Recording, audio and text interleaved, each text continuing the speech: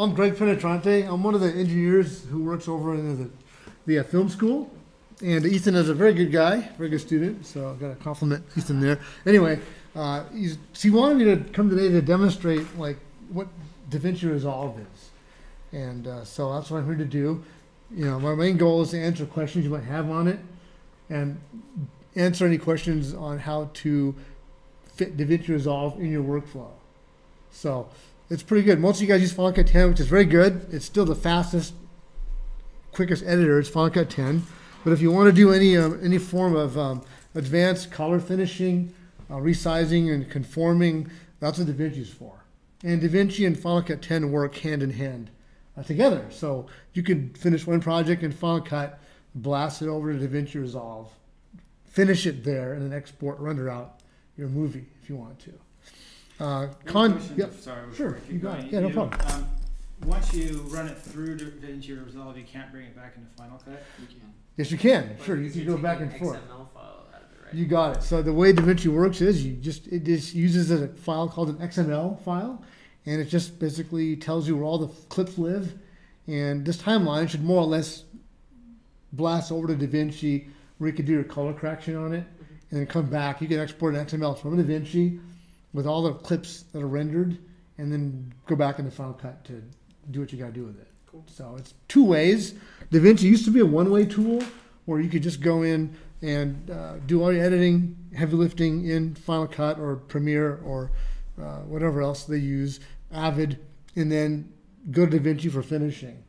But as of the latest version of DaVinci, which is 12.5, they've made it into a full-fledged editor.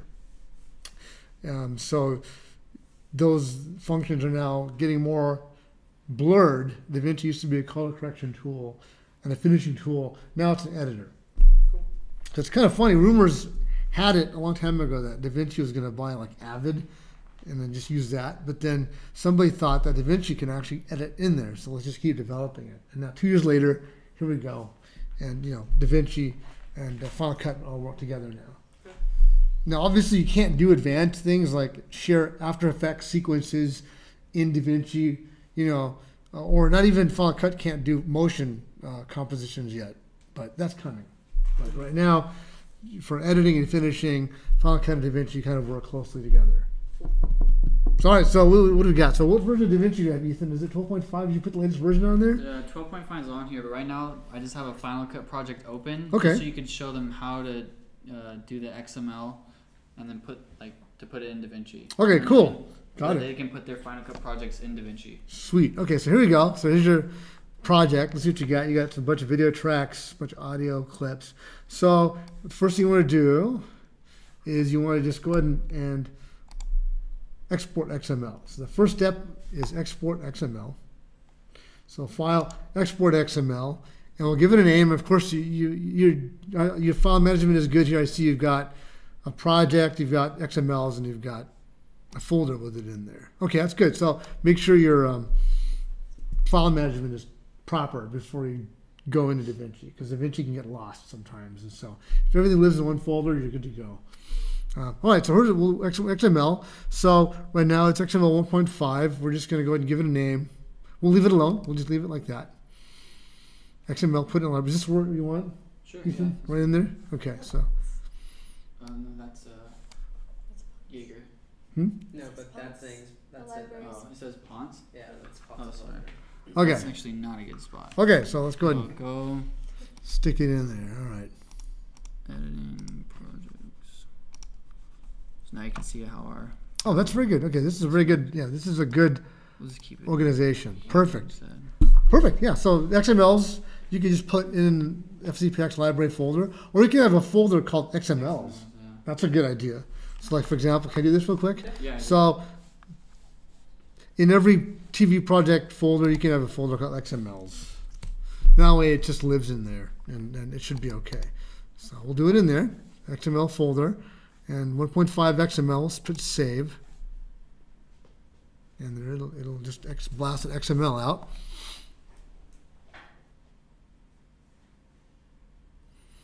All right, so that's cool. And so now, and I'll just quit. Well, let's see what kind of computer we have. We'll have enough room to run both.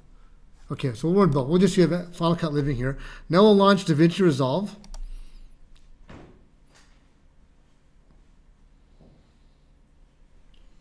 So um, when you launch DaVinci Resolve, obviously when you first install it, you have to make sure it's set up properly for your system. Make sure your your uh, your scratch disks and your you know your the place where it puts files um, is the same as everything else. So we're just gonna make a new project. So first, um, are you doing 24p? What's your frame rate on this? 24. Okay, so you have your project manager. All your projects you're working on live in this screen, right? So anything you work on is in here. Now, the, the, what makes DaVinci different than like Final Cut is that the projects live in this computer. They stay on the computer. In other words, the, the projects live on the computer. So if you want to work on this project on another computer, you have to actually take the project and export it out,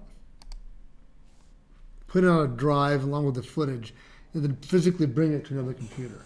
So DaVinci's is from the old school where it was like a server and people are clients, and so all the data lives on the actual computer itself. So again, if you want to work on your project on a different computer, you should export the project and then import it into DaVinci on another workstation.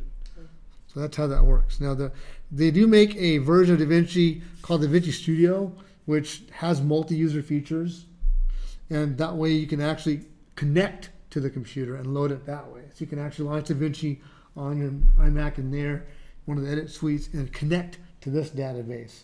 So but that's in the studio version of DaVinci. Greg, you guys have that at TFM? Oh yeah, because we, we, bought those Black Magic cameras. You get a free copy of DaVinci with this the little dongle thingy. Wow. So you have that. We have like six copies of it. So, um, you know, even if you buy like, I know, right? you never know. So actually, if you guys get like, um, you know, for they have these little monitors that DaVinci makes now, that Black Magic makes called the uh, Black Magic Video Assist. It's a little monitor that records. Mm-hmm. It's like four hundred dollars, but you get a free copy of DaVinci Studio with it. Wow. So if you want to get a fifty percent discount at DaVinci Studio, just buy the little DaVinci Video Assist. Mm-hmm. It's four ninety five, and it, it records four K ProRes. It's like a Atomos Samurai, but it records on a. It's a monitor that records, but the benefit is you get a free copy of DaVinci Studio with it, which is good. Anyway, I'm not a shill for this company. I'm just saying. All right, so here we go. So that's how you do it. So here's your project manager. So what you want to do is you want to take the untitled project here. I like to right click on it, and you basically want to configure the project. So I'm going to go to project settings.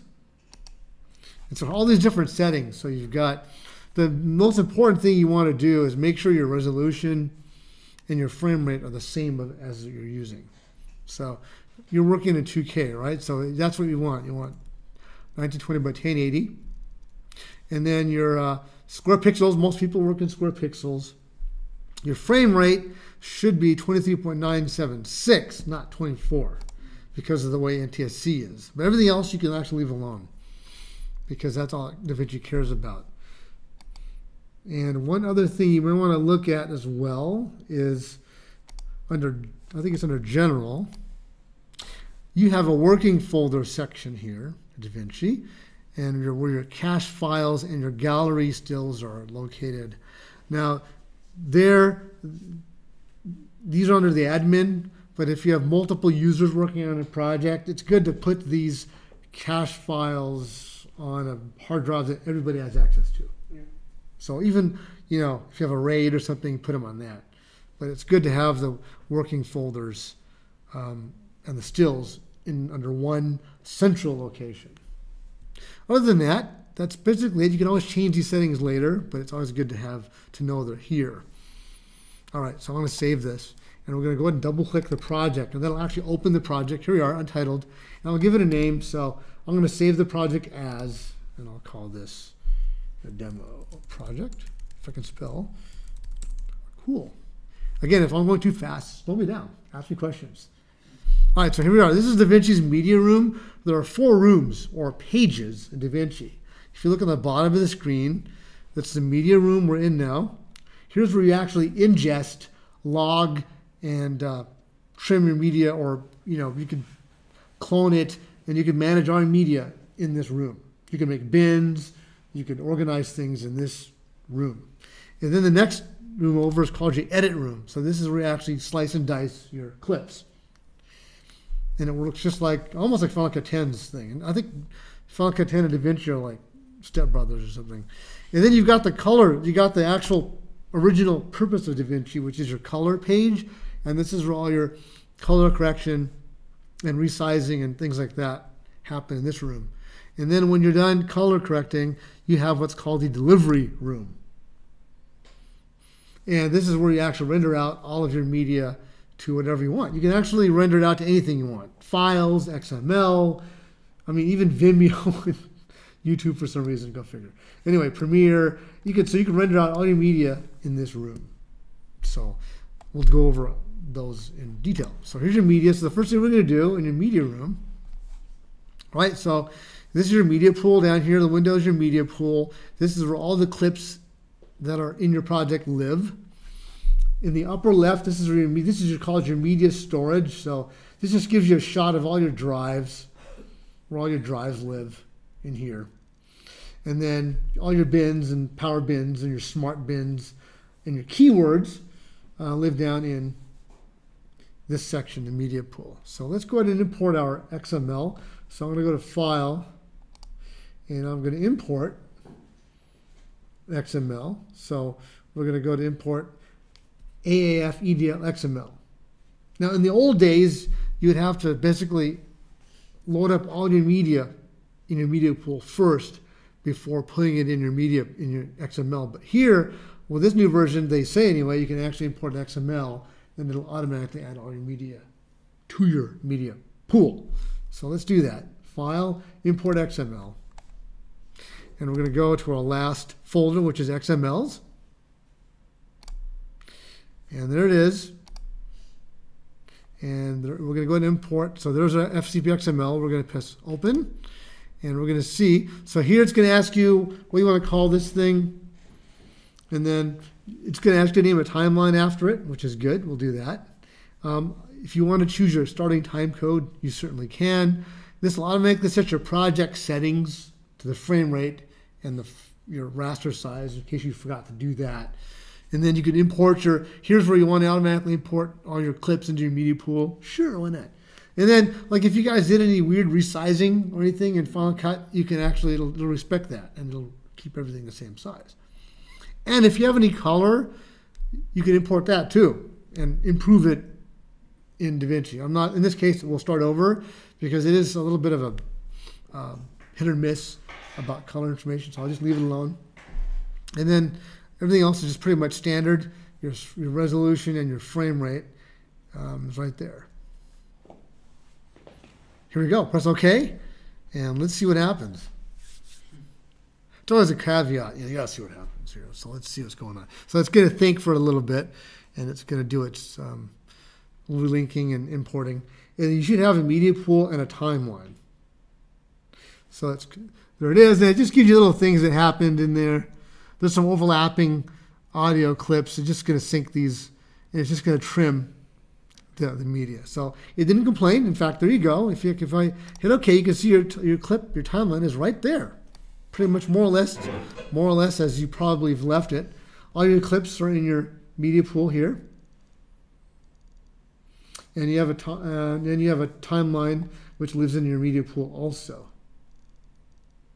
In fact, timelines, so if you look on your left side, so uh, in your media pool, you can see timelines have a little icon on them. Right there, you can see the timelines. And then if it's open, it'll actually put a little check mark next to it. It shows you that it's open. Okay, so have any questions so far? So we've imported an XML. All your clips are actually showing up on your media pool. And you can see your timeline here. And it even all the most of your text effects even came over, which is kind of cool. Let me lower the volume of this a little bit. So it works just like Final Cut. You could increase or decrease the size of your timeline by zooming in and out. Um, all the keyboard commands work the way you want. So Apple plus and minus, zoom in and out. Just like so, all the all the commands that you're used to kind of work. So if you're used to working in Final Cut, almost all the commands carry across. You can actually, in DaVinci, you can actually um, configure the keyboard. So if I go to my um, to preferences or my project settings, I can actually load the keyboard up in here. Keyboard mapping in my project settings. And here I can actually load the keyboard mapping of my choice, Premiere Pro, Final Cut X, Media Composer.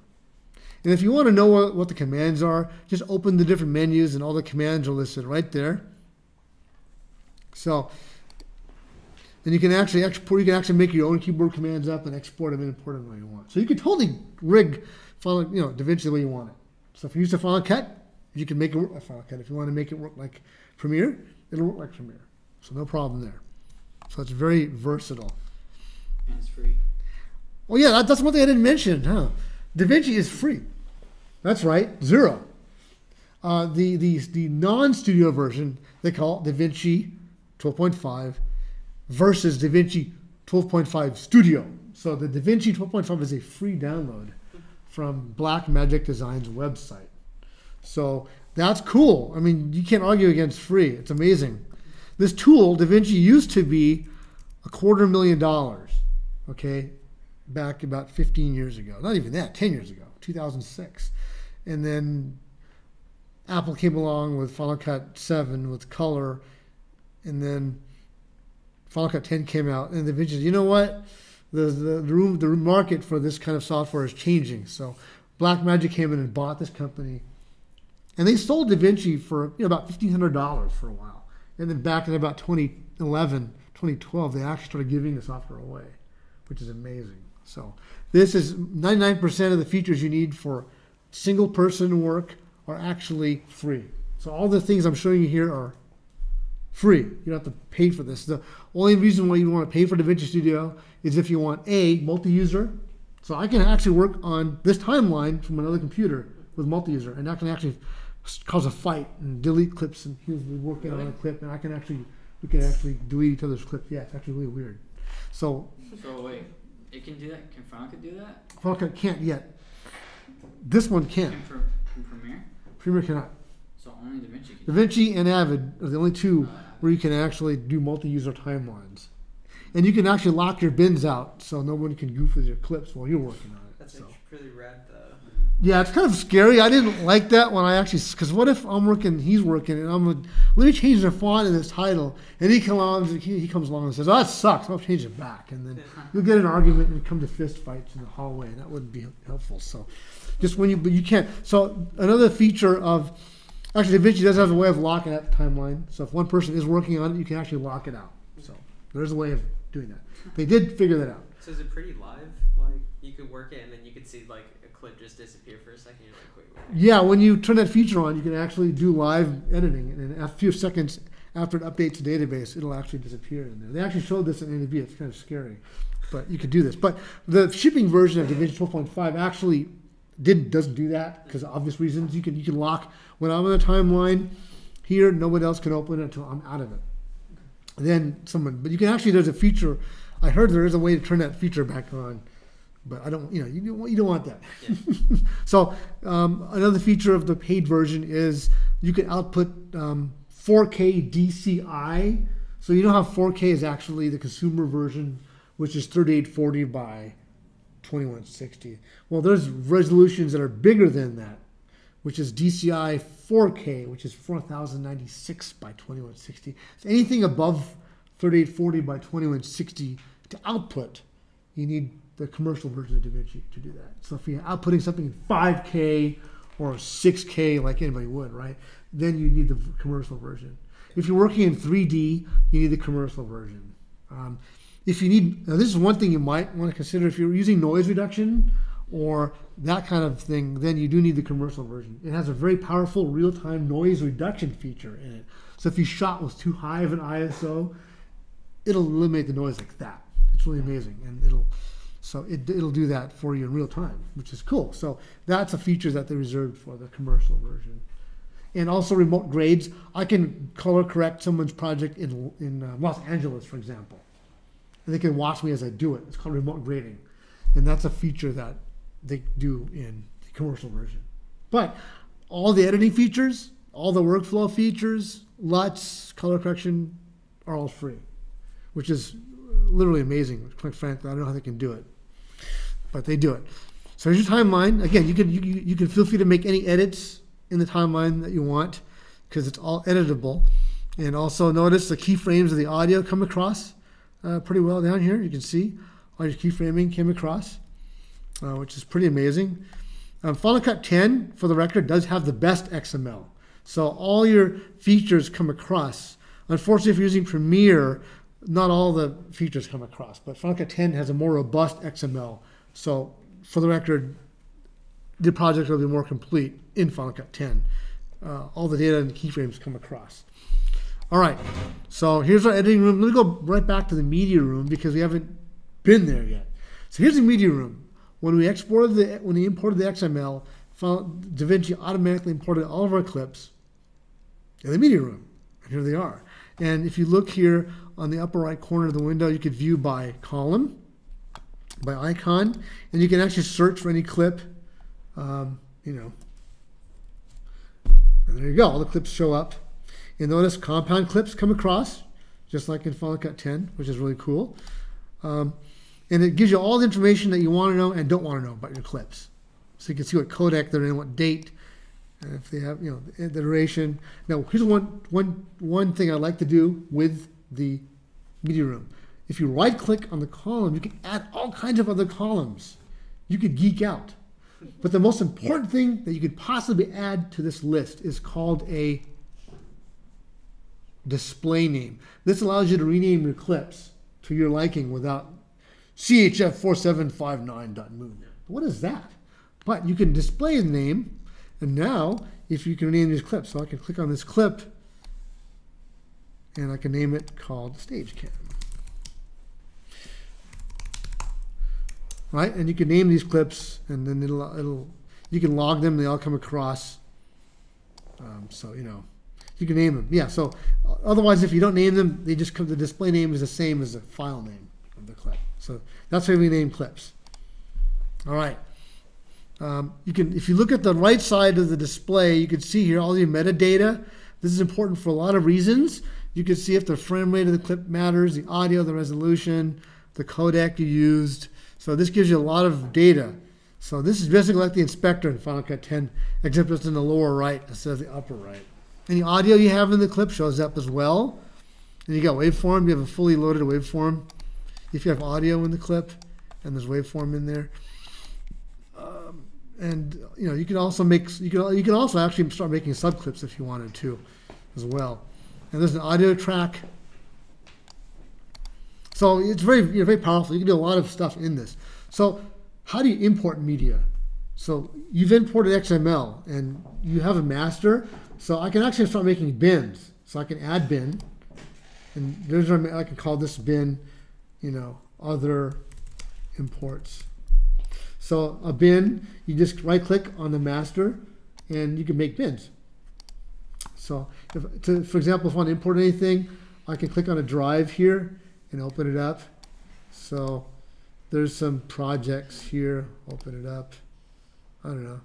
Can I, can I grab some clips just for examples? Um, go to projects. Okay. Hit that one. And go to down a little bit. Uh, down, down, down. Wait. Let's just go to that one. Okay. So you can open it up, or you can actually just click. Yeah, go ahead. Keep going. Capture. Capture. There you go. So it's capture. So I click on the. If I click on the hierarchy, it shows you folders, so you can look up in there. Double click it. There's some folders. So I can actually take these in. It knows MXFs. DaVinci reads MXFs, so it doesn't care what format you shot in for the most part. It loves, it really likes ProRes though. It's faster because anything with H.264 is slow to decode, but it'll do it. But just note that it's always better to code everything to ProRes or ProRes LT to make the work a lot faster. But if you do have raw footage like this, it'll do it. And you can actually have DaVinci make, if you right click, you can actually make, have DaVinci make optimized footage automatically. So like Final Cut, it'll convert in the background to ProRes and edit that way. And so where would those files go? Oh, there's a there's a in your um, in your in your in your in your uh, cache folder. So that's why it's important to set this cache folder. All these files go into the cache files location. So all the optimized clips go into this cache files location. So if we have like, let's say we work on a raid and then we we direct the cache to go there, and then we we finish with all this kind of stuff, and then we want to re-import it. Like, what do you recommend? Do you re-import it back into Final Cut, or would you just be like, okay, it's pretty much done? Oh no, you, you render it out, you deliver it to Final Cut Okay. XML, and all those ProRes files will come across with it. Okay. You know, you just put in a folder and then import it in Final Cut, and you're good to go. Everything comes across. So here it is. So for example, if I take these two files, you can just you know, drag them to your bin, and there you go. They're in there. They also live in your master as well. But again, you you can also put things in bins. So here they are. They're in a bin, and it gives you what exactly codec it is, and and uh, all that stuff. All right. So there it is. It is. You know, it likes to take advantage of the GPU. So if you have a GPU, a powerful GPU like a Mac Pro with a, a very powerful GPU card in it, or one of the round Mac Pros with the twin, it does take advantage of that. It's GPUs. So this is your. So any questions about the media bin? Again, this is where we put everything. All your clips go in there. You have a master where everything lives, and then you can put things in bins. You have things. How to use the smart Smart bins are cool. Those are actually um, bins where you can actually make uh, you can make a new smart bin. So anything, for example, uh, you can search by properties. So anything produced last week. So let's say you, you can do properties. You can do any cam, any audio, anything with two audio tracks contains or does not contain whatever. So you, you just go through the metadata. Anything you tag, anything shot by you know, Eric or, or Ethan. You could put director contains. So just you basically want to tag things first, and smart bins work just like keyword collections in Final Cut 10. So you tag your stuff with metadata, and then that carries across to your power bins. So it's just like a keyword collection in Final Cut 10. So for example, I want to do meaningful properties. Let's say, I don't know, real names begin with a 6F you know, contains or begins, begins with, see, that'll show up in there. So real name or file name, there you go. Anything with a six. There you go. It's in there. So that's how you do it. Or anything that doesn't contain a 6F. Aha! MXF. See what I'm saying? And you can name this. So, you know. So anything or anything contains, you know, um, so you can do, let's say, prop. Let me see if there's a codec. I wonder if there's. Let me look if this is if there's a codec in there. Duration, frame rate. Right oh, you had it. Did I had it? Right there. Okay, so I'll do Canon. Anything with a Canon. So, yeah, there you go. Did it. So there's a uh, there's the details. So anything shot with a Canon, it uh, it's in there. Anything shot with a 8.264. Oh, there you go. All the stuff shot with H.264. So that's a smart bin. Anything else, I can just call this my Canon. And I'll call this Canon, uh, whatever, Canon. So that's a smart bin. And you can create as many of these as you want. How's it going, dude?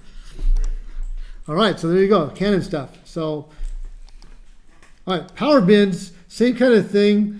Uh, power bins, smart bins. Smart bins always update. Um, power bins are like, uh, how would I say it? They're almost the same as smart bins, except these show up throughout the entire project structure. Okay, Ma- master and bins only live in your project file. Power bins show up just like um, events in Final Cut, where one event can show up in five or six projects. So a power bin shows up in all of the projects on your computer. So like all your stills you use for all your TV shows this season can be in a power bin, and now they'll all be there no matter what project you're in, they'll be in the power bin. So that's what a power bin is. And a smart bin, of course, is a smart bin. I can also add a smart bin. You know what else? Let me see. Um, I can do. Let's see clips. So you can keep like anything with audio tracks. So any any audio you can record with anything you can record with a Zoom, you can put in there. You know things like that. So that's what a smart. That's what the smart. I always use this. I always use smart bins for stuff. So anything sample rate with 44.1 Oh, good. Nobody uses that. Perfect. So all your audio should be 48,000. Should be, oh, 48 kilohertz. There you go. Should be in there. Okay, so let's see, 44. Okay, that's interesting. It doesn't show up, so go figure. But it should show up if we did it right. So 48 kilohertz is or is not. Okay, so obviously these clips audio probably doesn't have that metadata in it, so that's probably why it's not showing up. But so that's what power that's what smart bins are. Smart bins you could define anything, anything with a close up in it, anything with a long shot in it, those kind of things. All right, so that's your media room right there. All right, any questions so far? You can also organize all your clips. Again, it's always good to organize all your clips in the media room before you move on to editing. It just makes life a lot easier um, to do. All right, all right. So there's your media. Oh, also you have uh, if you do this regularly, like you should, we have what's called a clone tool. A clone tool allows you to ingest all your clips from your camera, bit by bit, into your project folder. Okay, so when you drag copy clips from the Finder, it basically just copies the files over, no problem. A clone actually copies the files over and make sure that all the bits in the file made it over in one piece. Because there are times when an SD card can corrupt data when being read from. And so what the clone tool does, it actually takes an SD card and clones it over. It can even be a hard drive, anything, doesn't matter what. It'll copy everything over to another folder bit by bit, perfect. So everything comes over exactly. So if you had a super mission critical clip that you want to make sure it darn well copied across, use the clone tool. And the clone tool, you could do like 100 jobs at once. So basically, let me just show you real quick. Add job as a source and destination. So let's example, you want to copy something. I don't know. Jeez Louise. But you want to copy a clip. So let's say you'll go and copy a folder. You'll take a clip. Let's say, um, I'll just take a something like a graphics folder. You just put the source as graphics and your destination. You could pick, or you move that over, and I'll just pick, I don't know, something. Let's just pretend that will go on one of these drives here or something. I'm not going to do it. I'll just show you. So I'm going to the movies folder. Tell me my destination. There you go. So this graphics folder will actually clone over to this folder like that. And if I do it, and there it is, it clones it. So every everything it copies, it actually does a checksum. And then it makes sure that the clone made all your copies 100% accurate. So clone is basically a hyper accurate copying tool. That's what it is. All right. So that's what, so clone is basically a, you know just exactly everything is everything is exactly alike, and that's what it is. So that's what a clone did. It just cloned everything from one folder to another, and it keeps all the data intact, everything. So you could do multiple clones. Um, I always want to preserve the folder name. I should have done that. What that does is, if you have any graphics in that folder that have folders, it'll preserve that folder name. So you have to click on it. Anytime you see a three dots, just like in Premiere, right? You have these, what are those mysterious three dots? You should click on it because it tells you good stuff. It's kind of strange. So that's a clone tool. So uh, the top of the window is all the stuff you want to see. And you click on it to turn it on and off, just like in Final Cut 10. Okay, here it is. So now let's go to the edit window. So there's an edit window. Again, it, I'm not going to say much because you guys don't want to edit. So it works just like an editor. So anything specific you want me to show you, or is it, that's pretty much it. Anything you do in Final Cut, you could do in DaVinci, pretty much. So all your editing is here. Okay, you do have um, Cut have the DaVinci that the editor of DaVinci doesn't have. It doesn't have. Uh, it doesn't lock your clips together. You know, how in Final Cut, the clips kind of like lock together. Yeah, they snap. You don't have that in DaVinci unless you want it. So you have to hold down a keystroke to drag the clips around. Then it'll ripple everything over. DaVinci does have some really good rippling edit features. Um, there's some that I haven't even tried yet because it's such a new, it's such a new um, program. Let me show you. So let me just put the timeline back to the way I like to see it. So if you click in the middle of the screen, you can adjust your timeline size just like Final Cut. Turn your waveforms on and off. Um, you can change your track height. So just like Final Cut, um, it does. You have markers and index points just like it. You have magnetic selection, turn it on and off. You have snapping tool link selection, turn it on and off. You don't have the QWE or you append to timeline, you've got it's a three point editor. So, for example, if I go to the end of your timeline, and I'll take this clip here, right? You go through it. So this is your event viewer, like in Final Cut. Okay, it's two windows. So if I want to start here, mark I for in, O for out. Then you can set your target tracks on your left here. So you got your different levels of video. Now, unlike Final Cut, your timeline is not, is not magnetic. You have a track, so you have to make sure you you go in the, the track you want. So instead of roles, Final Cut 10 has roles, DaVinci has tracks. So imagine tracks as your roles. So that's how you want to do it. So I want to put this in track two. I'll just target track two. There it is. And so now if I drag it, I can drag it over and see the clip just shows up. So just like Final Cut, drags over. You can also drag to the right, and there's a bunch of stuff you can insert, you can overwrite. I like the fit to fill, it's very good. Oh, it does have an append to end, just like in Final Cut 10, excuse me. so yeah, it has the E tool. So I can append that to the end of your timeline. Um, and you have a, what's called a ripple overwrite. That's kind of cool. It'll overwrite a clip and it'll ripple all the changes. So if you leave any gaps, it'll close the gaps for you. If the clip's too long, it'll adjust all your clips to compensate for that.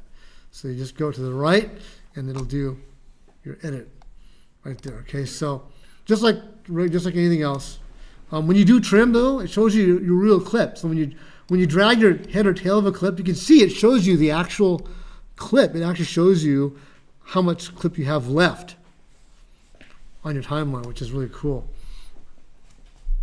All right, let me zoom in. So you can, again, you can drag your clip, make the size bigger, or smaller on your tracks. If you want to show your keyframes, you can. So if you click on the keyframe icon, your keyframes show up, and now you can set keyframes. You can raise or lower it, right?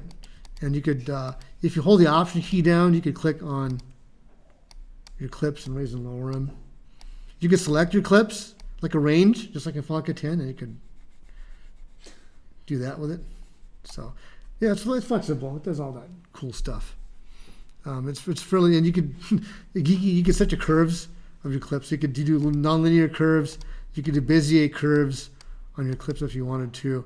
So it does all kinds of uh, keyframe modifications, and you can take your keyframes and move them around.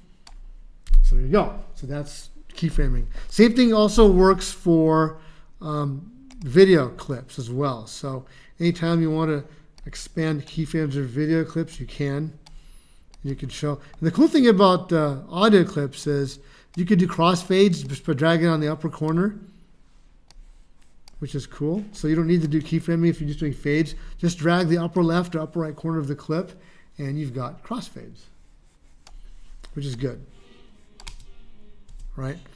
And right click, you can add a keyframe, and then you can crossfades like that too. So yeah, all the it works just like any other editor. Um, so you have the edit index, just like Final Cut 10. Click on it. Your effects, you have all kinds of effects, just like so. Um, you have generators, color bars. You got your titles. Um, you've got all kinds of strange effects um, you can put on there, and there's more all the time if you want to do those things.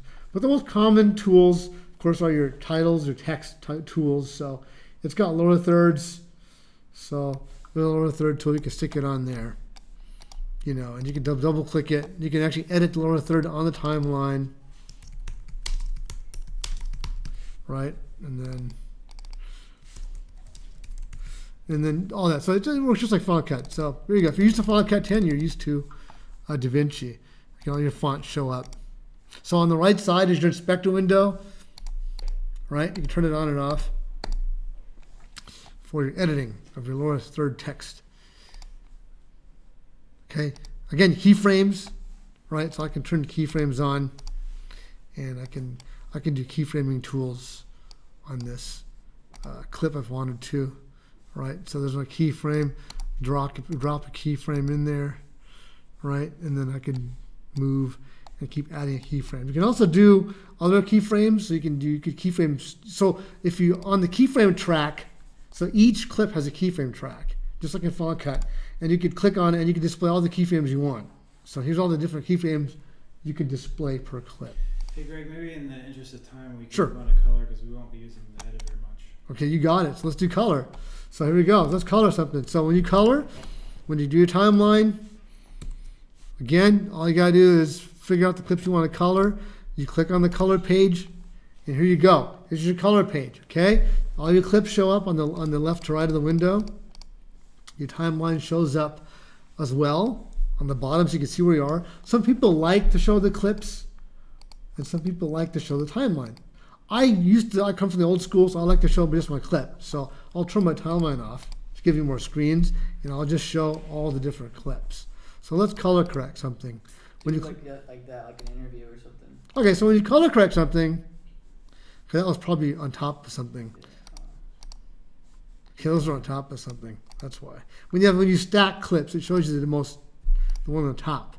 So let's let's do something like this. Okay, so when you click on the clip, all right, uh, uh, DaVinci is node based.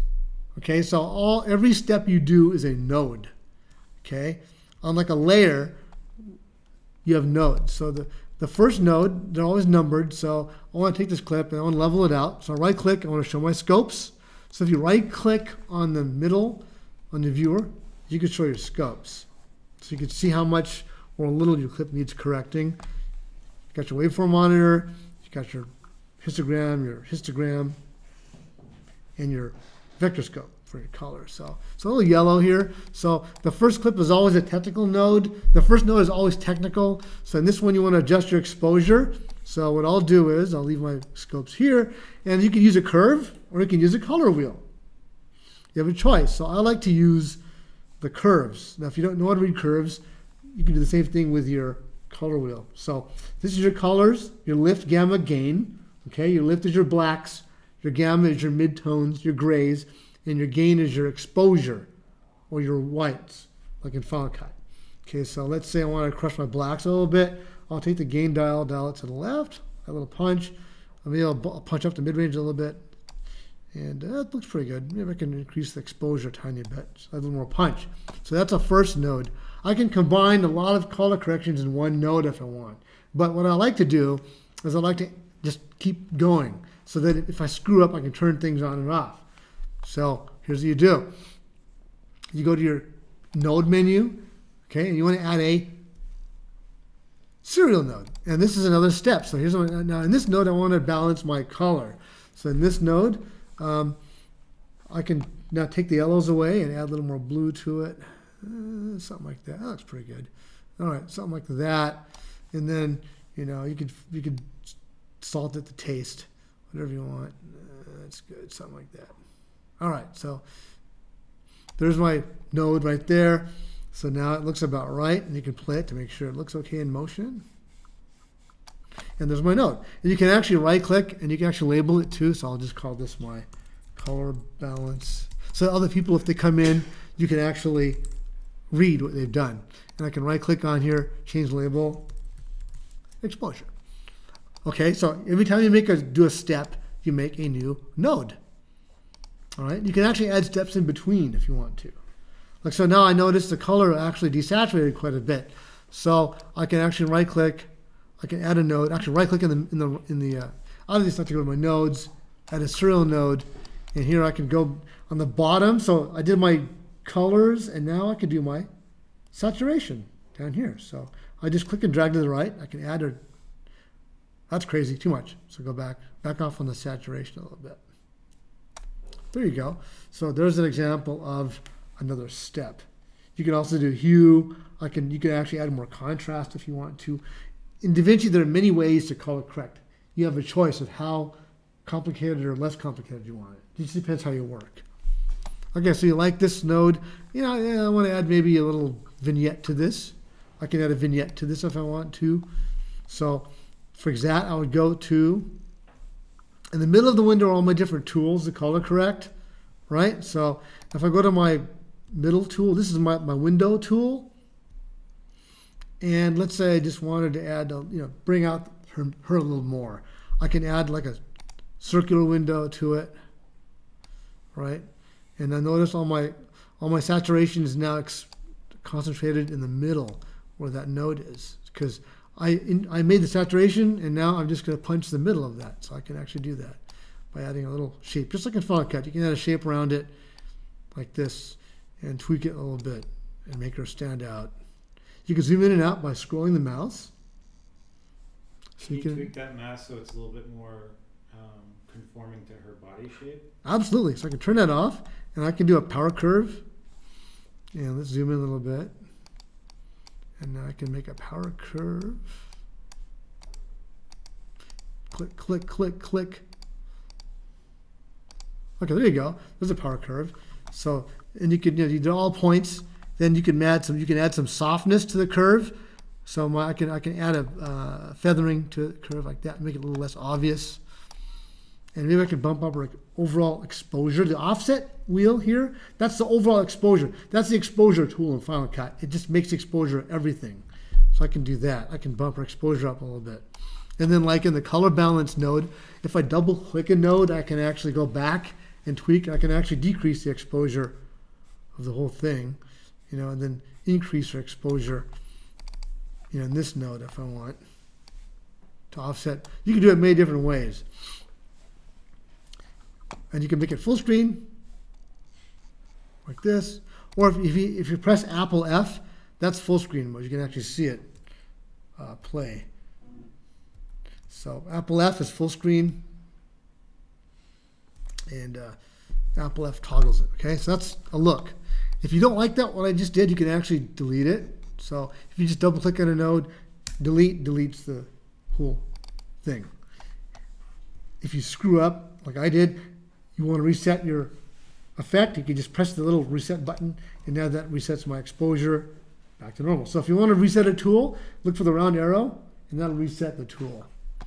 All right, so there you go. Let me just take this. I can I can add a saturation to this again, a little more saturated. All right, there you go. All right, so there, that's uh, so that's the exposure. That's the uh, node tree, just like that. I want this look. I want to apply this to other clips that I see. How do you do that? Okay, save it. You right click on it and you grab a still. So you grab it. So now this is a, a grid I can apply to other clips. I'll just call this, I don't know, D yellow. So any clip that comes across that looks the same, I can apply it. Like for example, this clip here, I can, so if we click on it, you can middle click. Oh, it doesn't work on this one. Just apply grade, so you can right click and go apply grade. And see, now I applied that grade to that clip. I've de-yellowed it. And you can see any clip that has a color grade attached to it, it has a rainbow icon. Like that. How'd you how'd you make a still of it again? Okay, so you right click and you grab a still. So anytime you, you, you find a color correction, so let's keep going here. Let's go find another clip. So here's a clip. I want to fix this clip. So let's do it. So we're going to go ahead. If you look in here, it's overexposed. So you want to, I'll show you a curve. I like to use curves because they give you a little more flexibility. So like the, the gamma is in the middle, the blacks are in the bottom of the curve, and the exposure is on the right side of the curve. So if you look here, his, his chart is overexposed, so I just bring it down. Good, see, it's, I've, I've, I've retrieved all that detail.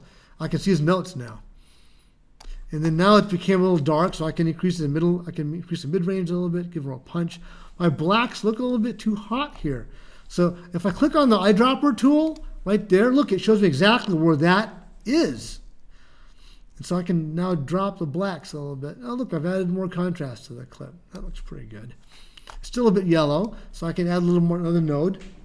Okay, so let's add another node. And now I'm going to make it a little less yellow.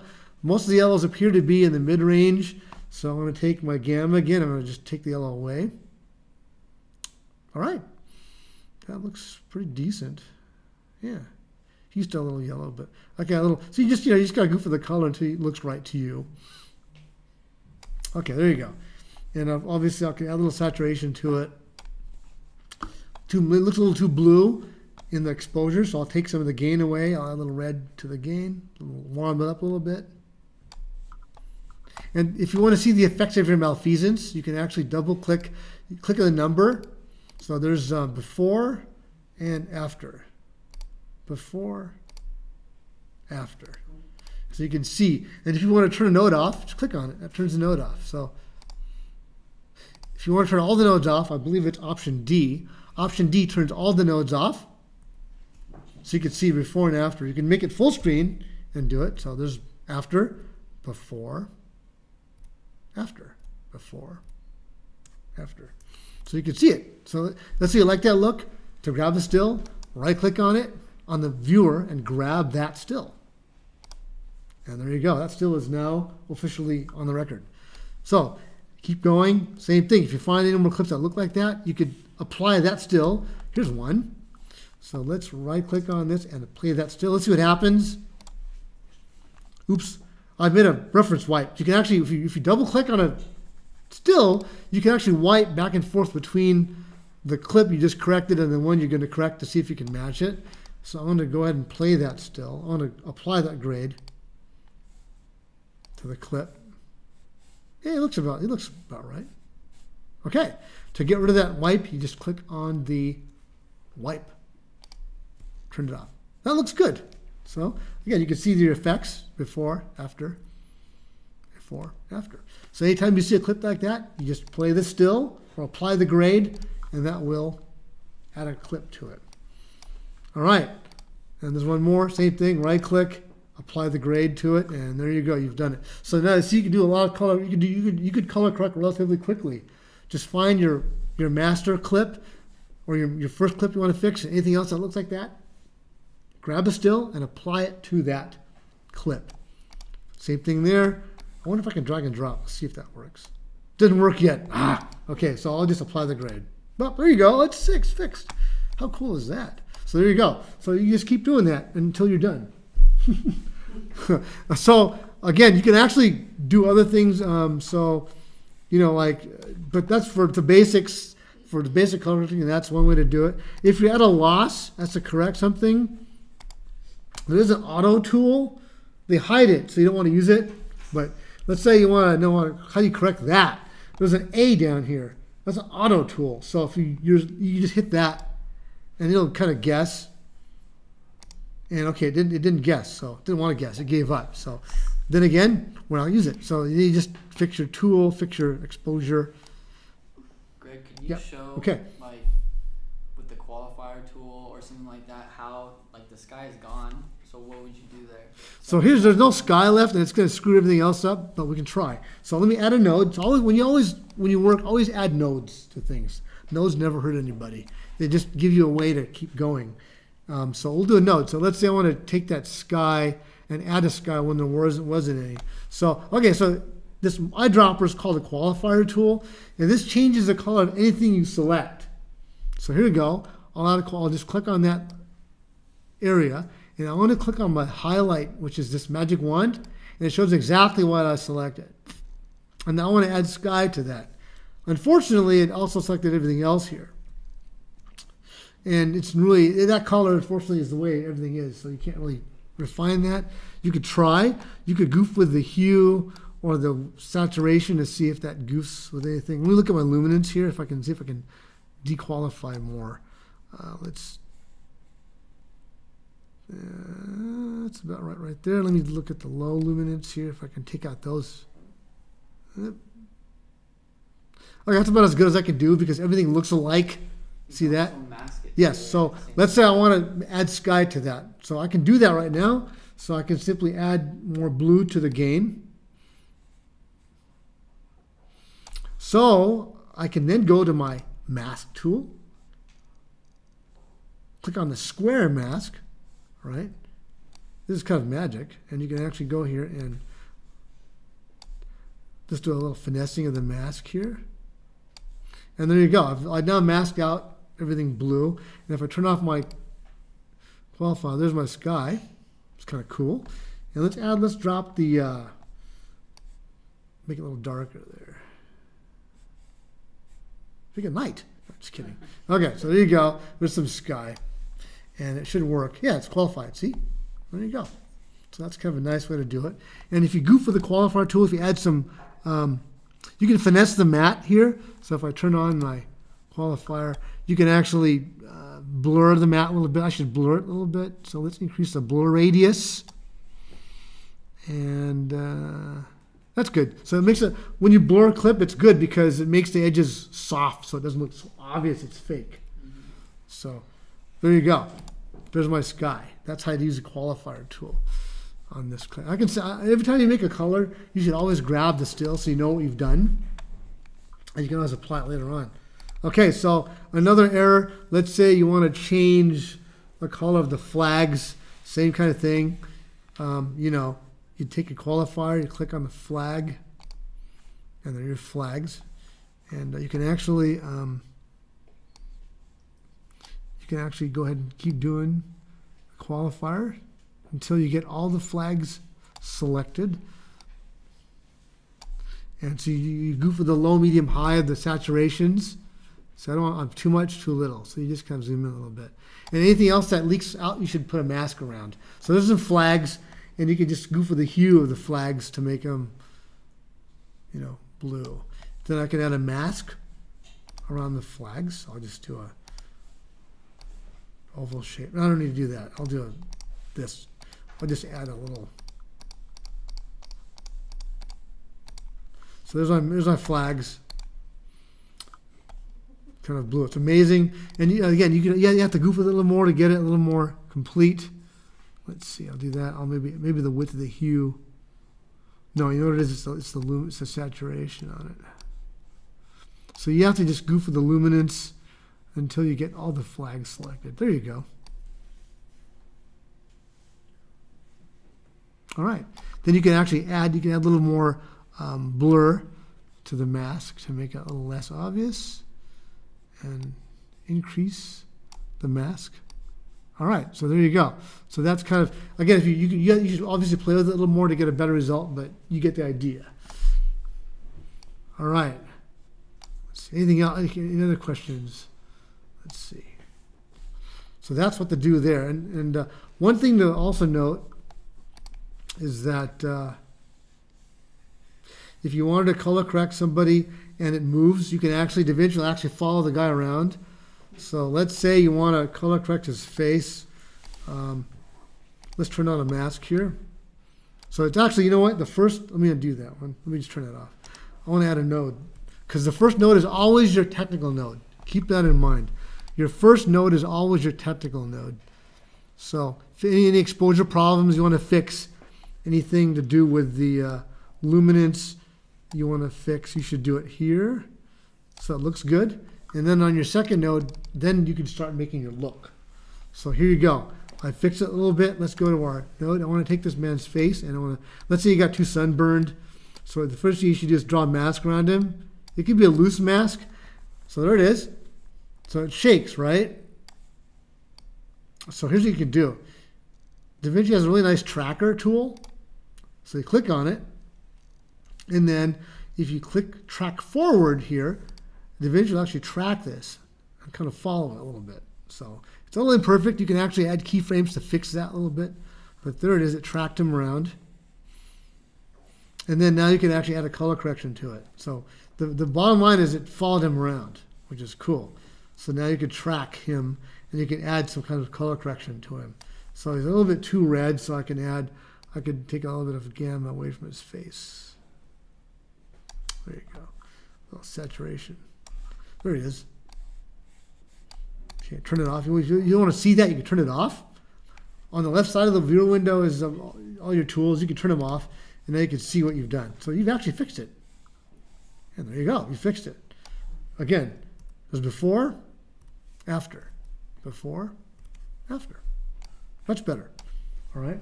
So that's one way you could, DaVinci will actually follow you around by using the tracker tool. So in review, you can use masks to isolate corrections. You can use the tracker tool to have the corrections follow your mask around. Every time you do a color correction, you should add a node. Every node can have a label. Okay? And a collection of nodes is called a still. To grab a still, right click, grab a still, and it's saved in your stills gallery. Okay? Or any more, any more other questions? Um, So again, we've applied a correction to it. So any node that you, any clip that you apply the correction to, it has a rainbow on it. Okay, so let's say you've done almost all the work you could. Here's a clip right here. This obviously needs some help. So we could expose, you can increase the offset, the exposure, drop the blacks a little bit, increase the mid range, and maybe uh, take away a little orange from it. Yes. Can you go Okay. um, to the two Okay. and then just like go over those? Oh, I'm sorry. Okay, so I'll do it. there's some new features that have been added to DaVinci, and thanks Ethan for pointing those out. There's uh, color temperature, tint, mid-range detail, color boost, which is a high-powered saturation tool, shadows, highlights. So here's a now. See, I'm I'm color balancing this clip the old-fashioned way Yeah. by adding. Now, if you want to do it the cheesy way, the well, not cheesy, the new way. Let's so let's say I want, let's say I mess this up. I want to reset this back to normal. Go to color, reset selected node grade. Boom. So now I'm back to my normal self here. So again, I want to just increase the uh, exposure because it is too dark. Some more, some more. Okay, there you go. That's good. So let's change the color balance. So see this? There's a color temperature right down here. See this? You drag the color temperature so you can make it bluer. Look at that. You're actually changing the color balance of it. And there you go. I've made it less orange. So that's how to change the color balance is by just using the color temperature tool and dragging it left and right until you've fixed it, more or less. There you go. That looks a lot better. And then you can still go in there with your three-way wheel and goof with it a little more. Okay, so there you go, something like that. Okay, so that's how to. Then you can, you can I mean, you can combine all these tools to your heart's content. Um, you know, you can you can even do more work with it if you want to. Uh, that's a little better. Okay, something. So there you go. So let me find some other ways to, to ruin this shot. Okay, so here is this clip. So here's one way to do this. Now you notice. Wait, let me find something real quick. Um, okay, so this tool here. Let's say you wanted to soften her up a little bit. So not that she needs it. I'm just showing you. Okay, so let me show you. So here's a clip here. There's a there's a tool called mid-range. Let me let me hold on. Let me go this. You need a three-button mouse. Okay, you need a three-button mouse. So when you go to your preferences, the Apple mouse is really nice because you can actually have a third button. Here's why. When you zoom into a clip, you press a third button. You can scroll around in it. See, so you can zoom in. So here's the reason why I do this. So I want to take a mask tool, turn it on. Okay, and I'm gonna match her face up a little bit. So we're gonna take her face, and you know, let's say you have a person that needs a little help or needs a little enhancement. Okay, so there you go. This is this the third setting over is called the mid-range detail. And what that does, it's almost like a blur tool, but it only affects the mid frequencies. So it's not going to affect anything else but the detail. So if I decrease, so let me let me show you. If I drag to the right, I'm increasing it. Okay, see that's a little bit too much. So if I try it to the left, see that? It's actually like a mist. That's actually, yeah, it's actually, really- it's cool. So there it is, before, after, before, after. And the thing about the mid-range detail, it only affects the mid-frequencies. You know, in Photoshop, you can re- you can replace, you can have low frequencies, mid frequencies, and high frequencies in Photoshop. Like I can eliminate wrinkles, but not the hair. That's called frequency-based separation. So the mid-range detail only isolates the middle frequencies of the image. So anything like eyelashes and hair and mascara doesn't get erased, but all the wrinkles get erased. So that's what that tool does. It simply turns, it simply blurs the mid-tone frequency. You can face tracker. Oh yeah, I can face tracker. So let's go to the tracker and let's track her forward a little bit. That's cool. That is indeed cool. Yeah, those are cool. Yeah, those little contrast points. So the, what the tracker does, it locks onto anything that's gr- that's grainy, and it figures out where they move, and that's called a planar tracker. And so DaVinci does a nice job of planar, and it even takes into account the rotation of her face. Look at that. That's really amazing. I, I you know, I'm a jaded kind of skeptical guy, and I find that amazing that it does this. So it's kind of cool. And it does have manual keyframing. So if it does need help, you can actually click on the frame tab here and manually adjust it and go back to clip. And that'll actually adjust it if it needs any help. But that's cool. Yeah, that's actually really nice. So that's the mid-range detail tool in there. And, and so, uh, okay, so let me turn that back off. So I'm going to grab that still, stick it in there. So I've saved, I've done a bunch of these. Anytime you do a correction, it gives you a bunch of, it lists everything you've done. So, you know, you could, that's why it's good to know. I always label these stills too, in case I, didn't, I forgot what I did. It's because I didn't label them. Okay, so that's the mid-range detail tool. Obviously, it still needs help. You know, oh, if you want to add a still before, you can. So I can add a call. I can add a node before the current node. So now it's it's actually node two, even though it is node one in theory. But not. So I need to fix her white balance. See, so now I'll go to my color temp and dial it to the left, and she is now fixed. Okay, and there you go. And probably she needs a little bit of curves. I always use curves because it's easier than rotating the dials. Believe me, curves you can just click and drag. See, look at that. So there's a little bit of a curve, a little mid-range boost in there. That's good. Maybe a little punch in there. Drop the blacks a little bit. You know, yeah, a little. Okay, there you go. Something like that. And then there. So there's my curves. So if you like it, you could you could save it, grab it still, and now there it is. Okay, any questions or comments? Um, what else? I'm looking for something that's really overexposed Oh, to show. go, go down. Okay. Further, or the other way, sorry. Further, further. Oh, right there. The Join yeah.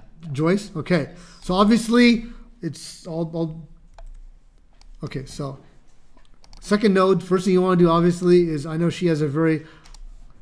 Uh, she needs this, so you need- I'm not saying that it's a bad thing. Believe me. I mean, I, I, I- I've talked. I, I know her, so I can. She's like, well, if you shoot me, Greg, put a sock over the lens. I'm like, okay. But so she's cool. I mean, she's cool with it. She, so again, you want uh, some mid-range detail on there. Oh my. Yeah, that's pretty good. And you know, and oh, I forgot the tracker. I'm sorry. I need the tracker now. So let's just track her.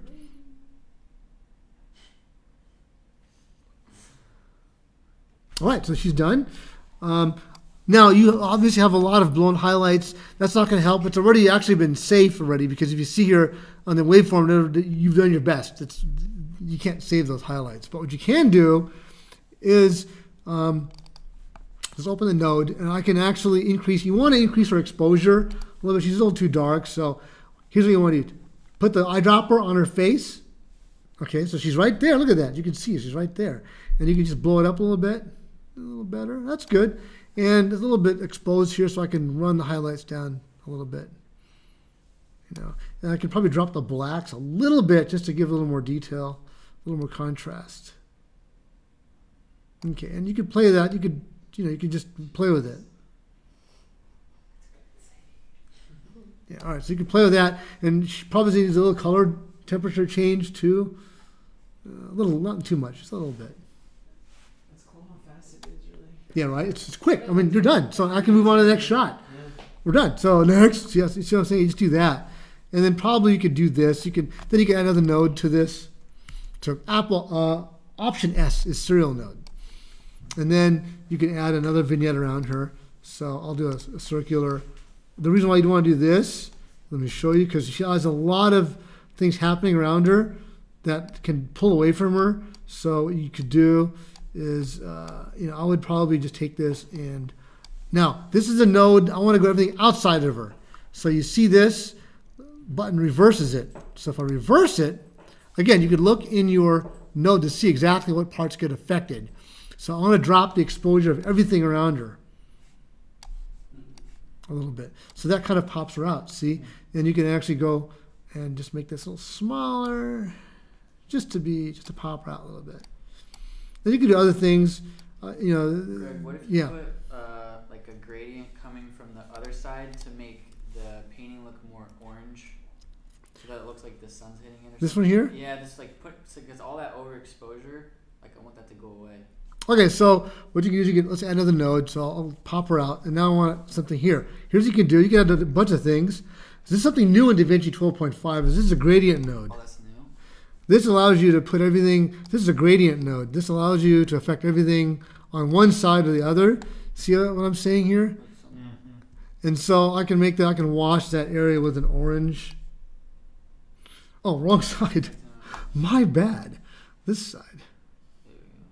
And the It's pointing that way, but it's I don't, I don't know. Whatever. I know, right? It's just one of those things. So what you do is you simply take this and you you, you, you tell them what you gradient you gradientize it, for lack of a better word. I'll make it a little fuzzy. That's good. And then now it's now we're gonna add a little orange to it. You know, there you go. That's kind of cool. We could we could probably do a little bit of stuff in the highlights too. Eh, Not too much. There you go. And now, there you go. See, and so now you notice it's actually working pretty well. oh, there's like a line moving on your hill. What is that? What is that moving? that? On the window pane. It was there before. That was there. I think Really? that's that. Let's turn it off. Oh yeah, I was there before. Yeah, it was there before. See, I turned everything off.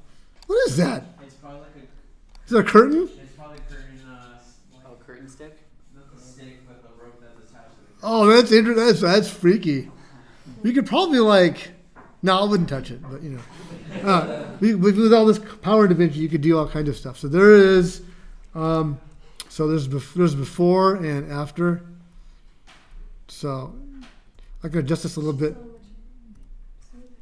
Yeah, so you know you could keep, yeah. So that's how, yeah. So there you go. So that's one way you could do a color correction session. All right. So again, uh, how fast it is. It's just you just keep going through, boom, boom, boom, boom, boom, doing all your adjustments, and then once you're done, okay. So once you're done making adjustments, now you go to the deliver room. So anything else I need to show you? Let me look here. Um, one thing you should you know about. Um, let's see here. Let's say you want to. There's something a lot that people are asking me. Um, how do you blur things out? So let me show you if I can find a clip. Probably won't be able to find it, but I'll show it to you in this one here. So let's say I have box office, and you want to blur that out because it, it's a, it's a competitor's product. Let's say so. DaVinci has really nice blur tools here. So let's say you just take a mask, turn it on, and stick it around your object you want to blur. So I want to take this mask. I'll just put the size down a little bit here.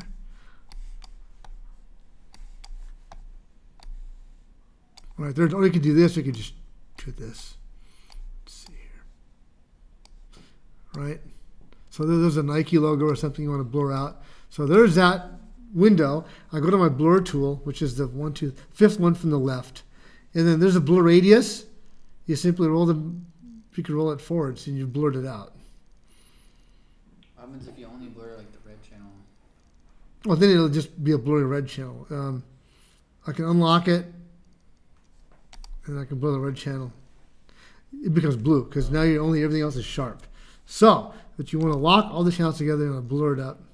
You can also sharpen it. See, you could sharpen or you could blur. Then now I can make this blur. I can make this mask a little bit softer uh, because it does look kind of cheesy. Let's see. If you can't if you can't reach those little knobby things, you have to like use the mouse. You have to use the user interface. Okay, there it is. It's blurred, and obviously you could use the tracking tool to track that. So that's one way to blur something out. If you wanted to blur something out. All right. Um, let's see anything else here. Okay, so lift gamma gain, you know. Again, RGB mixer is the same thing. It allows you to adjust the red, green, and blue of individual channels. Okay, and then you have a noise reduction. This only works in the commercial version. Pooh.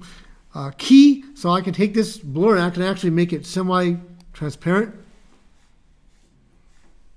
So you can make all kinds of looks on making the blur transparent or not by using the key channel. All right, sizing is important. Um, I can input, I can change the size of frames using the, the whole movie I can change, or I can just change the size of just one clip by using called node sizing. That makes me change the size of just one clip by using the sizing here. And you can make things, you know, bigger, or smaller. See, I can, I can make that node bigger, smaller. See it? By using node sizing. That's kind of an interesting feature of DaVinci. If I want to change the size of the whole clip, I can go to, I believe, edit sizing. And that allows me to change the size of the entire uh, clip. The lens correction, do you you guys have that? Oh, yeah. The, It doesn't work for us. Okay, so lens correction is only a feature for the commercial version. That's unfortunately another thing they decided to withhold from us.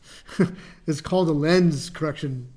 And so if you shoot with too wide a lens, you want to get rid of that weird barrel distortion, you turn on lens correction and it'll allow you to. How good is it? It's actually pretty good. I, it works pretty well. I've done it with Durbin's film, so do pretty well. And so you can't do it. You have you have data burn in too, so you could record. You could burn in um, time code your clips if you want to give, or you could put a logo. Can you, You could put a, you could do something. No, you can't. You should, well, you can, but you do it in the edit room by using your text, by using your text uh, things. Well, you can't do like SRT files. No, not in this one yet. No. So that's something that they have, you can't do yet in DaVinci. Okay. So now you want to deliver your masterpiece. We're going to go back to Final Cut 10. So here's what you do. You go to the deliver room. You can see your entire all your clips here. Okay. And so what you want to do is you can render. You could you could choose what to render. I can do the entire timeline or an in and out. I can render a specific piece, or I can render the entire timeline. So let's do the entire timeline. Okay. So now you have custom. So all you gotta do is simply click on the FCP XML, and now everything's there. Click a location. So in this case, you're gonna go to um, editing TV, I guess, right? And then, or is it projects?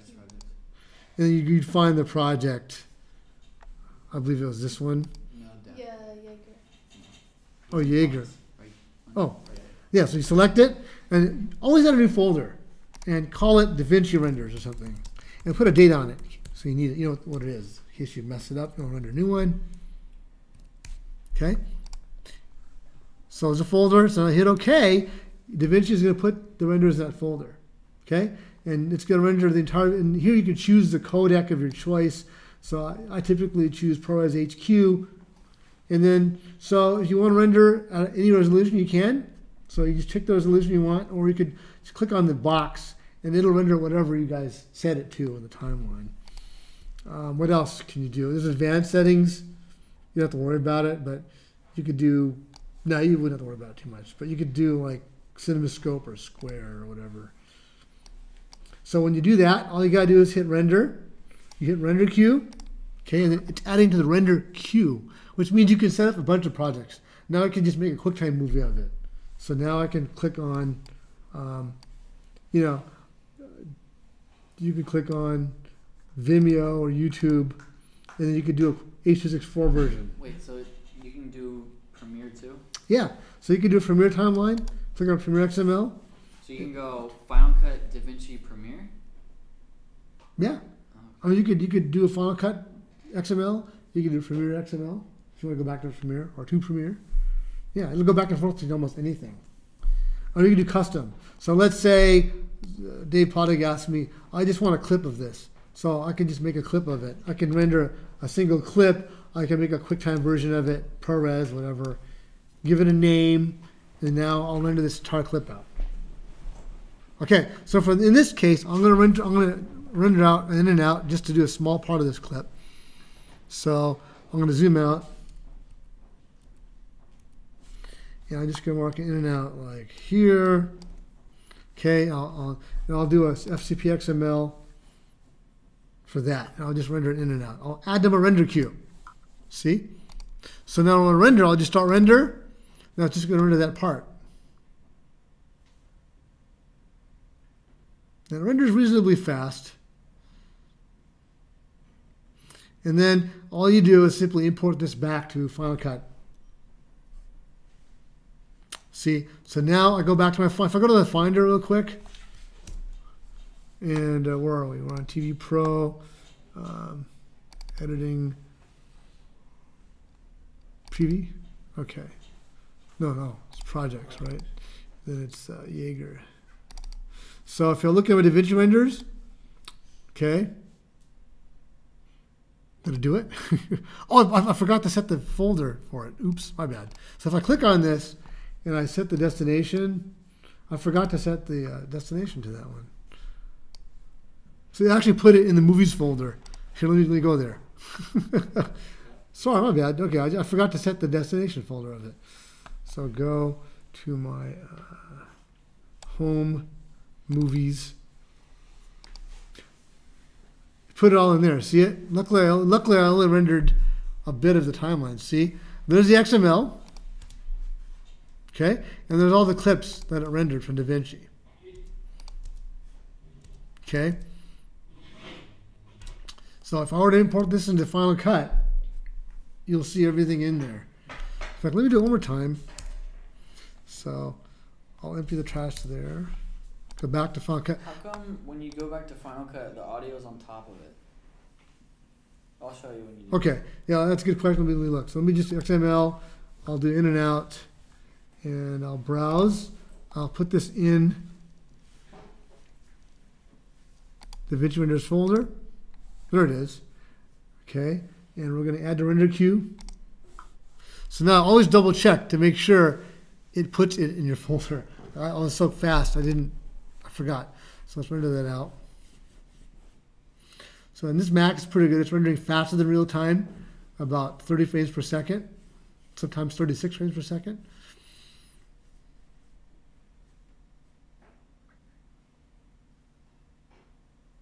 All right, there it is. It's done. So if we go back to Final Cut, and I guess we can make a new, um, let me just make a new uh, event. Okay. So let's import something, right? Import XML. Okay, we're going to go to our um, rendered folder. And there's the XML with all the clips, right? And let's import it.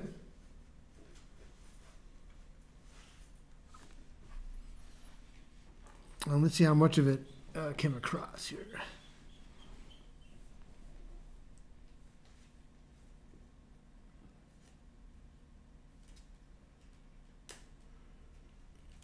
It's like, hello. There it goes. Greg, how come we used multicam in DaVinci and it was so much easier with Tim's projects with Tim Powell? In multicam, you mean DaVinci? Remember how we did that? Yeah, that's true. We did that. That's it. So uh, something lost got lost in the sequence for some reason. Let's see here. Let's see what it did here.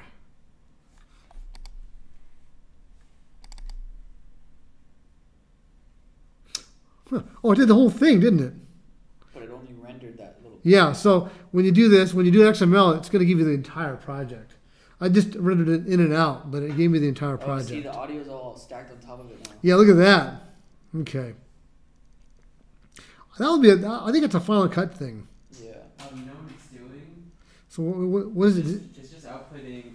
It's just outputting everything like how it was, but even the timeline isn't like you know how there's one section of Final Cut where it's like the magnetic part where everything like um, Yeah. Yeah. snaps together. Uh huh. It's like oh, actually that's still the same, isn't it? Yeah. I guess that that is weird. It's, it's. Yeah, it's kind of strange. That is on top. Yeah, because what I was thinking was something else. Oh, and then look what else. Um, all those all those audios got me- oh, got messed up. So what I did, because I already did all this, uh, is I just deleted all that audio and I deleted all the bottom audio, and then I just went in my other project and copied all the audio. Okay. You know, Yeah. yeah, yeah. because it was already done. Oh, I see what you mean. Yeah, it's true. Yeah, yeah, you can do that too. Yeah, I mean that's definitely a way to do it. Or you could just have the, you can have it output the XML with just the uh, video only, and then audio you can just copy and paste from your other project. Because that's how we do it in Premiere normally. Um, so, so that's definitely something an issue here. Again, this is you know DaVinci is still an evolving product. So typically, what you do is you'd stay in DaVinci once you import everything in there and finish from this. Finish it, didn't you? Yeah, but if you're just doing color, you can just go ahead and take the audio and not do the audio. You can turn the audio off and just export the video and then move the audio in from the other project. So, but typically you want to finish in DaVinci or stay in DaVinci or figure out why. But I think that it's a, that's a Final Cut thing, the, the way it interpreted that XML. So even clips that you didn't grade get transcoded. Well, for the XML, yes, because I exported an XML from it. Uh, What it did was it exported the XML for the entire timeline, just that, not that section. And that makes sense because when you do in and out, you're not really deleting the timeline. You're only only giving a small section of it. So if you want to export just an XML from that timeline, here's what you'd want to do. You go to your media, you take that timeline, right? You'll take your timeline, or you go to the edit room actually, or yeah, media is fine. But you take your timeline, you duplicate the timeline. Okay?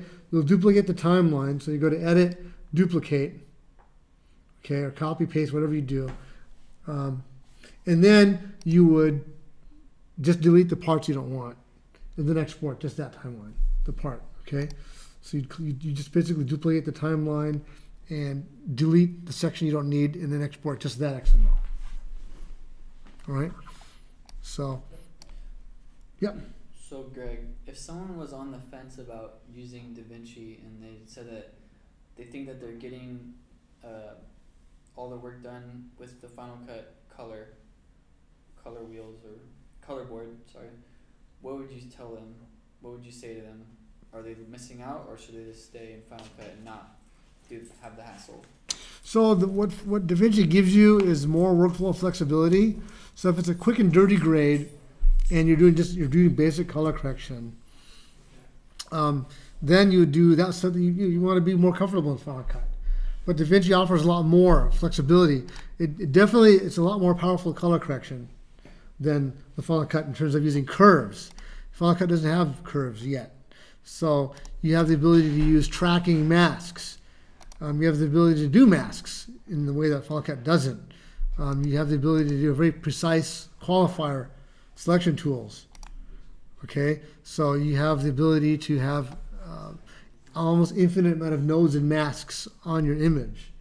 So you have a much more feature complete and more versatile color correcting in DaVinci than most any other apps. And DaVinci is purpose designed to color correct. That's its whole um, purpose in life was to color correct. So you have 20 years of, of mathematics and uh, expertise and workflow uh, in DaVinci. Is there a way to do batch grading or batch correcting? If you've got a scene where you've got the same lighting, same camera, um, you want to correct all of those clips from that scene in the same correction. Sure, yes, there is. Absolutely. So let's do this. So let me take um, uh, Dean Joyce here. So let me go ahead and just grab her grade real quick. Okay, so now we'll, there's, there's, there's many ways to do it. Let me show you two ways. So let me reset her notes. I'm going to reset everything real quick. All of it. Okay, so take these three clips. One, two, three. So you hold the command key, right? That makes a multiple selection. Now we're going to add it to a group. So you make a new group. So we'll call this uh, Joyce. Now, this is clutch. On the upper part of your node tree, there's now ways to correct groups. You could correct the group pre-clip. You could correct just the clip, or you could correct the group post-clip. What does that mean? I'll show you in a minute. And timeline is you can correct the entire timeline. Now, pre-clip means you're going to correct your group first, and then you could fine-tune the clip by adding a node on top of it without correcting your clip. So let me show you. Here's a pre-clip. Okay, there's Joyce, right? Now I'm going to apply this grade to all those clips. Boom! Look at this. All the clips now have that same grade if I click on it. Okay, that's a group. So anything I change in the one clip, it changes everything. So let's go ahead and change. Okay, so I'm going to, I'm to take this clip here. I'm going to change that grade. Okay, so I'm to go ahead and change this one. I can. Then I apply it to it. Let's see. That's a group. There's a clip. There's a group. All right. So any, any change I make to this clip, so I'm going to add a, a, um, a node to it. And let's just say we'll make it, I don't know, we'll just do it real quick. and I'll make it uh, a little blue.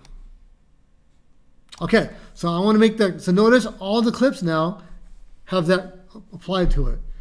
Okay, so if I make the whole thing black, notice my timeline will automatically adapt. See all the clips now. So that's how to batch grade. But let's say on number 81 here, I want to fix one thing. So if I do clip now, notice there's no node tree because it's only this clip. So in this clip, this is called group pre-clip. So now the group grade takes precedence over the clip. So I'm going to take this clip now and make it super nuclear. Okay, you said that's a new feature? That's a new, no, this has actually been around since DaVinci 11. Been around? So this clip allows me to change just the clip.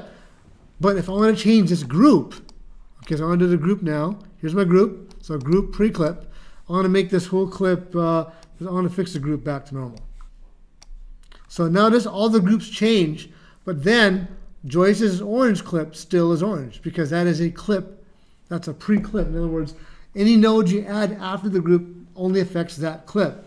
But anytime I change the whole group of clips, I can.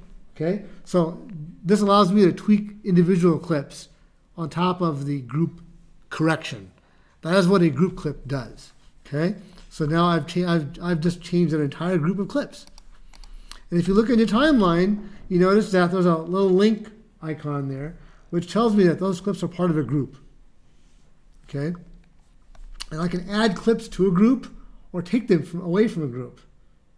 Okay? So that's called group. That's, that allows you to batch grade your film. So let's say you're going back and forth from an interview over the shoulder to close up, over the shoulder to close up. Well, I can take all the over the shoulder shots, add that to a group called over the shoulder, and correct just that one shot. And all the shots will now ripple with that grade. So that is so that's an example. This is an example of a batch grade. Okay, so here's her clip. Notice it's still a group pre-clip, which means I don't see the orange node. So if I go back to clip, and now that's her node. Okay, and again I can take it and reset it back to normal. Okay, there you go. The timeline now changes to reflect my correction. So in one fell swoop, I've now I've now color corrected three shots.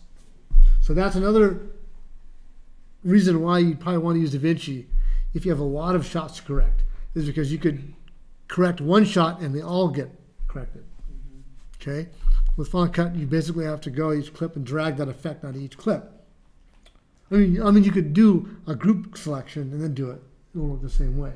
But here, I can just correct one grade and all the shots grade. In Final Cut, I have to redrag that selection on the clips over and over again if I change the correction. See what I'm saying? So in this, Jo- Joyce comes to me and says, wait a minute, I am too anemic here. Fix me. I can now go ahead and, and fix it.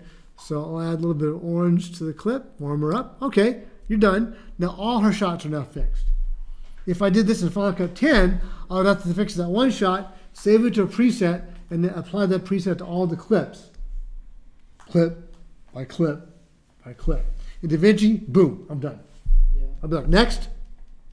Okay, so DaVinci's workflow begs itself for efficiency. It's very efficient, it's very fast, and allows you a lot of flexibility. Um, Which of these screens do you th- would you trust the most? So I would I would take a screen that you'd calibrate. Uh, this, is this a Dell um, UP25? You know, or this is a, is it a UP? If it's a UP series, if it's a UP27 something H, those are pretty well calibrated out of the factory. So then I would trust it more. But you definitely want to calibrate your screens before trusting them. Um, I have a tool you guys can borrow. I've got a calibrator I can bring in here, and we can set your screens on default gamma, and we can calibrate these screens to uh, a known standard, and then we can just load it up. P twenty seven. So it's a UP27. Oh, It is a P. oh, it's a P. It's not a U. Okay, so that's fine. You know what? I believe this has um, a calibrated mode already. I think it's an sRGB, and that's a mode you want to start out at, and then you'd calibrate it some more using the the, the um, There's the buttons. Oh, yeah, you have to hit that. Okay, so preset modes. See, there's a there's a custom color, which is fine. Multimedia? No, I would I have to read the manual, but there's a preset color mode in here that allows you that's pre-calibrated. Um, let's see. What's most, what's multimedia? I don't know. That we have to read the manual for that. I don't know. That's probably, um, Those color modes, huh? yeah, there's color modes. Yeah, those are just color modes. That's what we're at, standard, right? You know, standard. That's custom. It's some, some. It looks like someone came, came here and did a number on it because it's definitely warmer. So whatever someone did there, they did something. But I would do a standard mode, and then I would, I'll give it. There should be a preset mode. Um, here, menu. Here, uh, let's look at color. Color format. Preset custom. Uh, there's, there's no. Some of the more high end. Um, Have a, have it built in. have a built-in um, pre-calibrated mode that you can set it to. That's pretty good, and then you take your calibrator and do it. But that's okay. We could, we could just pick a default mode here. I could bring in the puck and calibrate it to whatever standard you want. So we could do that if you want. It takes about 20 minutes. I have one. You have one too? No, I have the calibrator in my office. Sweet. We just haven't done it yet. Um, gosh, who knows what these are? You know, I mean, there's more. There's warm. As cool as warm. Warm might be the one that's standard. I think that's 6500. That's D65. That may be the ma- the one that you may want to use. Let's see, movie. That's too blue. Multimedia. I don't know. And then there's standard, which is how it came out of the factory. So I, without reading the manual, I don't know. But I know the Dells, the professional monitors, do have a preset mode that's pretty good out of the box, and then you fine tune it from there. I just, I don't, uh, but on this particular model, I'm not sure what mode is the one that's calibrated out of the box. We have to figure out what model number it is and look up the, the, the literature. But definitely you want to calibrate your monitor to a known standard. Typically it's D6500, um, sRGB gamma, gamma 2.2, and that's a standard that then you'll, you'll trust. You can also have a, um, this Panasonic monitor, I'm not sure if this is a calibrated monitor or not, but um, it is a dedicated HD monitor, so you could run an image to it, um, and then use that because this is this this monitor might have a calibrated mode on it. Um, We're, we're I just using don't, I don't think it as a does, but I think we tried last year and we got it as close as we could. temp, camera yeah, there you go. The color temp is D65 is supposed to be a standard mode, so that should be, you know, you may want to re- you may need to recalibrate it a little bit to it, it might drift, but for the most part, D65 is a standard, and that's what you want. And then you can send an image to that monitor. Now, I don't. It's not wise to send it out um, through HDMI unless you can tell DaVinci to send out the raw image, because again, the gamma tables can goof with it. We And have the um, mini monitors, Ultra Studio ones, Okay. but it doesn't work with this computer. So Oh, it doesn't. Oh, that's right.